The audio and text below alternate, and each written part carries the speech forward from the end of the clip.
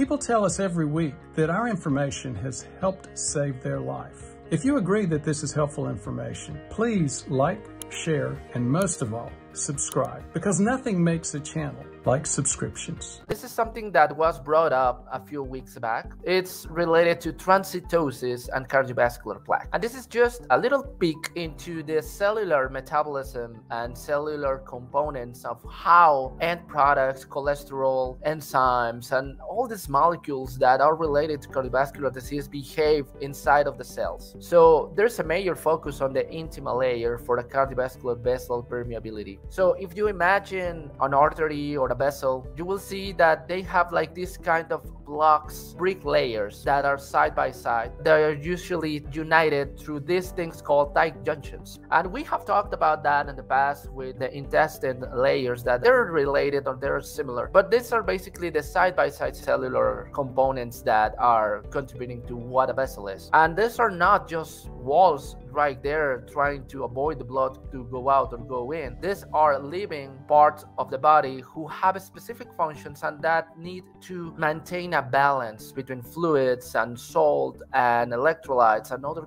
enzymes and they have metabolic processes inside of them that help us maintain different functions. So these are complex processes. We have talked in the past about the glycocalyx, which is basically this process, metabolic process outside on the surface of the cell. There are different products that are being built commenting that they can increase health of the glycocalyx, which gets impaired with hypertension and inflammation and insulin resistance. So when there is a injury of the glycocalyx, that contributes to get movement from small dense LDL particles from the intima and they get stuck in the medial layer of the artery. And this is not only something that happens with LDL, this happens with other cholesterol particles and like ApoB or LP little a's or other markers there of inflammation. So the idea of what happens in transcytosis is not like this cell gets ruptured or has holes in it. What happens is that inflammation increases the metabolic process, the rate of this metabolic process, and has part of this inflammation issue, the cellular mechanism called transcytosis, which is basically pulling in these particles, gets increased. And that's why you see that you get LDL from inside